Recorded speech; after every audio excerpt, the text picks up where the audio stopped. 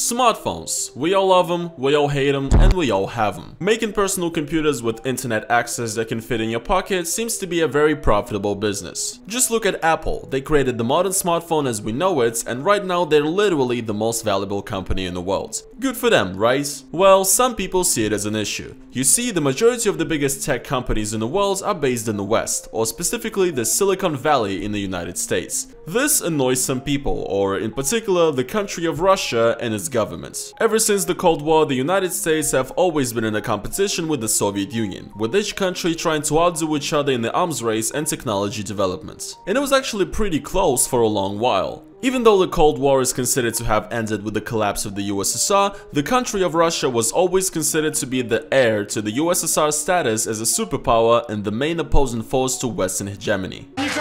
Россия на коленях стоять не будут. Вот эти к нам еще приползут на коленях и будут просить наших новых технологий, наших космических программ, и, буд- и мы еще будем кормить Европу и Америку. Russia has struggled a lot to keep that title up though. Enduring the difficult transition from communism to capitalism, becoming broke, being plagued by a period of increased gang activity, and struggling with omnipresent political corruption and lack of economic growth. All of these factors haven't made Russia a country that could keep up with the West that well anymore regarding the development of technology. The arms race, sure, Russia has a rich military heritage and history and it has been doing pretty well, but as far as making anything related to computers goes, be it hardware or software, Russia's attempts have not only been not very successful, but actually quite embarrassing. Especially considering the fact that Russia doesn't support their IT industry that well and how many talented Russian IT specialists actually end up immigrating and working in the Silicon Valley, doing wonders for the American economy. It's all just very sad and ironic. In today's video, I decided to tell the story about Russia's failed attempt at creating their own smartphone, which they apparently tried to make in order to really show Apple who's boss. Apple, Apple напрягся, в общем. Apple Вот после напрягся. выхода нашего смартфона. Well, technically, the attempt to create the smartphone was not failed, and they actually made three iterations of it. But if barely selling any devices, making no profit, and then selling the company to the Chinese sounds like a success to you, then sure.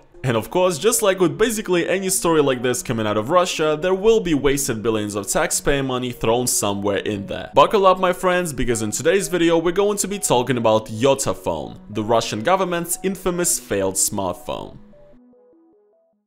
The Yota phone was created by a Russian tech and telecommunications company known as Yota, which was established in 2007. Yota is mainly a mobile carrier nowadays, providing communication and mobile internet services for the Russian people. But they used to do all sorts of things back in the day, including multiple attempts to create several mobile devices. Now before we get into this, I need to clarify. Technically, Yota is a private company, so the Russian government isn't completely responsible for the creation of the Yota phone. However, Russian governmental tech conglomerate Rostec owned a huge stake in the shares of Yota at the time, and the phone was developed and funded with the help and the support of the Russian government. Yota devices have also been repeatedly shown to the Russian presidents by governmental officials and were presented as the Russian answer to Western technology. Not only that, but the technologies used in the Yota phone then went further to fund a few more failed tech projects created by the Russian government using taxpayer money, so the connection is definitely there. The first time the Yota phone appeared in the public eye was the year of 2010, when the head of the Rostec governmental conglomerate showed President of Russia Dmitry Medvedev a prototype of the so-called first Russian smartphone. Ну, это пока м, э, прототип. Это именно абсолютно наш продукт. Это наш Будет продукт. выпускаться. Я смотрю, здесь бренд Йоты как раз. Здесь Да-да-да, будет, это э, наш продукт использоваться полностью. The prototype showed to the president actually didn't work in any way though, which Medvedev himself actually pointed out. Понятно даже, где нажимать. Ну, это пока э, прототип. Прототип. Прототип. I like it, to be honest. I mean, they literally just made a break you can't even turn on and interact with, and were like, yeah, cool, let's just, uh, this is good enough, let's just show this to the president. Anyway, you might have noticed something interesting about the phone in his clips, which actually is the entire gimmick of the first Russian smartphone. Yotaphone was presented as a revolutionary, innovative product that will change the smartphone game forever, and the reason for that is because it had two screens. Yes, that's right. That was essentially the entire idea. The Yota phone would be just like any other regular smartphone in the front, but in the back it was going to have a second screen, made with the e-ink technology commonly used in ebooks, essentially allowing you for a more comfortable experience when using your phone for reading. Basically, the revolutionary product that Yota came up with was a regular Android smartphone with an Amazon Kindle stuck to the back. Nothing short of genius. The phone was promised to be entirely built in assemblies in Russia. Well, almost. Стопроцентно э, российское изобретение. А детали? А Детали, к сожалению, иностранные. И сборку пока мы ведем э, в Сингапуре, но сегодня мы уже сейчас подобрали э, одно из предприятий, входящее в состав нашего холдинга российской электроники, и э, будем, э, в общем-то, вот на нем сборку это все осуществлять. Uh, spoiler alert, that did not happen. The Yota phone was supposed to have 4G support and was scheduled to release in 2011 with a price tag of about 25 to 30,000 rubles, so about 800 to 900 dollars at the time, which is fucking insane if you ask me. What were they thinking? Unsurprisingly enough, the Yota phone release did not meet the deadline, and the phone was actually officially revealed only 3 years later at the CES 2013 trade show, at which it was actually pretty successful. Ebooks were kind of a fresh fad at the time, and the idea was actually pretty novel, and some people actually liked it. For example, the Yota phone won CNET's award for the hottest mobile device of the show. On the flip side, during the show, concerns already have been voiced by people in the field, saying that the market for such a smartphone as the Yota phone is just very very niche, and it probably will not sell that well. Well, needless to say, Apple was not really fussed about the release of the Yota phone, as Medvedev said they're gonna be. Apple, напрягся, в общем. Apple после нашего смартфона. The phone came out in December 2013, and it wasn't all that great. The reviews pointed out that the phone's specifications were not really comparable to other Android devices on the market, and the phone was way less powerful than the flagship phones of that year. The main gimmick of the phone was also heavily criticized. The reviewers pointed out that the e-ink screen on the back was of pretty bad quality and refreshing refresh rate. Moreover, the screen was not touch responsive, and you could only control the back screen with a weird gesture system. The second screen's functionality was also super limited, as the phone actually had zero third-party support for applications utilizing the second screen. The device also shipped with an outdated version of Android, and to top it all off, it was being sold for a retail price of 500 euros, which was actually comparable to the prices of flagship devices like the Samsung Galaxy S4 at the time. Moreover, the build quality wasn't anything to write home about. All of this, as well as the company essentially having zero brand recognition and being new to the market, was basically setting up the Yota phone to be a commercial failure, which it did end up being. Only about 40,000 units were sold worldwide, and with the device being very expensive to produce due to the uniqueness of its internal workings, it basically didn't make any profit. Oh, and the phone was actually fully produced in China by the way, so it was never fully Russian made as promised. What's funnier is that seeing the phone perform so terribly only pushed the company to start working on a second generation immediately. The Yota Phone 2 was unveiled in February 2014, literally just two months after the first generation was released. Who does that? Not the best look in my opinion, showing as a new company that your product's longevity is literally just two measly months. The Yota Phone 2 presentation was kinda hilarious. It was essentially Yota trying their hardest to be Apple, throwing the keynote events and even making some moving uh, high budget advertisements.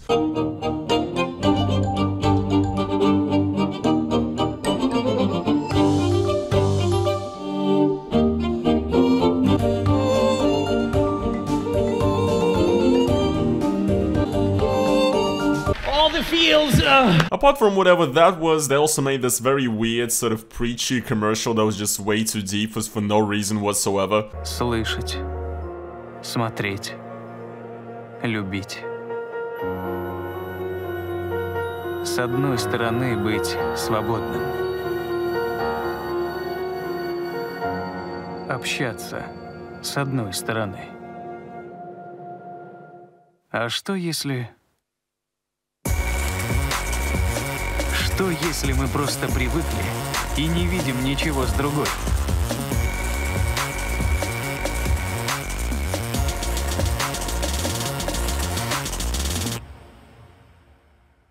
Йотафон. Телефон с двух сторон. You could clearly tell that the company decided to go all in with the second generation and to put a lot of effort into the marketing and essentially pretend like the first generation just did not exist. This time, this time guys, we will actually make it properly. Still produced in China though. Yota thought that this time the phone actually is going to be becoming a hit in the West and they actually made a whole bunch of videos on YouTube in English describing how the smartphone should be used. Yotaphone has two handy always-on screen widgets to help you organize your time. Calendar will show you the current date, State while next event is a friendly reminder of what you have to do in the near future. Wait, that sounds familiar. Is that the guy from Kurzgesagt, that YouTube channel? Wow, they really went all out, didn't they? That's that's big money right there. Unfortunately, there are not any funny clips of the Rostec head showing the phone off to Putin or something like that, like there was with the Yotaphone 1. But there is this one bizarre clip where Putin actually uh, gifts the Yotaphone 2 to Xi Jinping, uh, you know, the Chinese leader. Well, I guess it makes sense. You know, he's just giving the Chinese leader a product that's fully made in his country, you know, sort of given back. Yeah, by country I mean China. It was it was made in China. Anyway, there were some slight improvements with the second model. They increased the RAM and actually put a better processor in there. The back screen also was improved and actually now it had touch control and was not of awful quality. However, once again, the device was not very successful. The reviewers did appreciate the improved specs in the screen, but on the flip side, they rated the camera poorly and as well pointed out the steep price. Yotaphone 2 retailed for 500 euros yet again, and only about 96,000 devices were sold in the two years after the release. In 2015, Yota Devices, the subsidiary of Yota that worked on a smartphone, was seeing massive changes in the company. The Russian governmental conglomerate Rostec essentially gave up on the project and sold their share to a Chinese company called Rex Global. Due to the project not making any money, Yota Devices had a ton of debt, and essentially all the shareholders were dipping. Yota also got into a nasty lawsuit with a company that supplied e-ink screens for the phones. All of this in the end led to Yota devices being bought by a Chinese company called China Baoli, and Yota phone essentially became a Chinese brand. In 2017, the third generation of the Yota phone was released, this time fully developed and financed by the Chinese. The phone still kept the exact same double screen gimmick, but this time it was not even released in Russia. I don't know man, I just find that extremely ironic. Anyway, just like the previous generations, the phone was not very successful and in 2019 Yota Devices was declared bankrupt. So now you guys might logically think that the failed and profitable releases of three phones in a row should have shown the Russian government that this double screen gimmick really is not worth it. Right? Well, actually no. This entire beating of the dead double screen horse gimmick only continued further. Actually, Alexei Navalny, a major Russian oppositional figure who you might have heard about a lot recently, he actually had a pretty good video on this. Essentially, there's this Russian governmental company called Rosnano, which is described as an innovation development institution. They say that their mission is to create a competitive nanotechnology-based high-tech industry in Russia, and the company is funded by taxpayer money. Anyway, whatever, just like Uh, Yota, Rosnano were trying to develop or possibly maybe they just borrowed Yotaphone's epic e-ink screen technology and they tried to produce some devices of their own using it. They've actually invested 10 billion rubles of taxpayer money into this venture. 10 billion rubles of taxpayer money. Like that, let that sink in. And what do they do with those 10 billion rubles? Well, there's been a few failed attempts to create ebooks and tablets, but their last creation was just the best. It was just hilarious. Here's the thing, Navalny had a debate with the head of Rosnano, in which he was calling the company out and essentially saying that Rosnano has created absolutely nothing that has ever made any profits and that they're just basically sucking out money from taxpayers. But in fact, the head of Rosnano begged to differ. He gifted Alexei some sort of product which was meant to completely blow his mind and prove that the 10 billion rubles were not wasted. And that amazing product was um, an iPhone 6 case with an e-ink screen in the back that is meant to connect to, to the phone via Bluetooth and provide some sort of additional functionality. Uh, yeah. Essentially, they just decided to rip off the Yotaphone's concept and make an accessory with Yotaphone's functionality for a phone that people actually buy. Navalny made a video unboxing the device, and it's just hilarious. The video's called Unboxing a 10 billion ruble gadget, and it's just so sad, man. Like, the case doesn't even want to connect to the phone properly, and the screen on the back seems to be completely broken and dysfunctional. You know, not only is it a complete joke that 10 billion rubles of taxpayer money was spent on this, but it's also just sad and kind of funny funny seeing how the so-called groundbreaking and innovative idea of the Yota phone has been turned into this. Well, I guess at the end of the day, some corrupt CEOs have made good money off of this, and you know, guys, after all, that's all that matters in modern day Russia. And I guess that's pretty much it for the story of the failed Russian smartphone, Yota phone. Honestly, guys, this is just the tip of the iceberg. Literally every other month or so, Russian governmental officials show the president these random device prototypes they made that billions have been spent on, and they're usually just pathetic clones of already existing Western devices that never go anywhere. There's a ton of these, so perhaps if you guys like this video and if it does well, then actually I'll make a video reviewing some of these devices as well. Might actually even buy a real Yota phone myself and try it out, who knows. But just trust me guys, this is far from over. The rabbit hole of awful Russian technological developments goes way, way deeper. Anyways guys, that is going to be pretty much it for today's video. I hope you guys did enjoy it. If you guys did, please make sure to slap the like on this video. Also, check out my Patreon link. The link is down in the description. Donate to it. I would gladly appreciate it. It helps out my channel a ton. As well guys, if you want to support my channel, support me, then also go to the link down in the description to my Youtooz. Buy yourself a little figurine, buy yourself a little souvenir, and also support my channel. And yeah guys, this is going to be pretty much it for today's video. The story of the Russian failed smartphone. I hope you guys did enjoy it, and I will see you guys in the next one. Peace.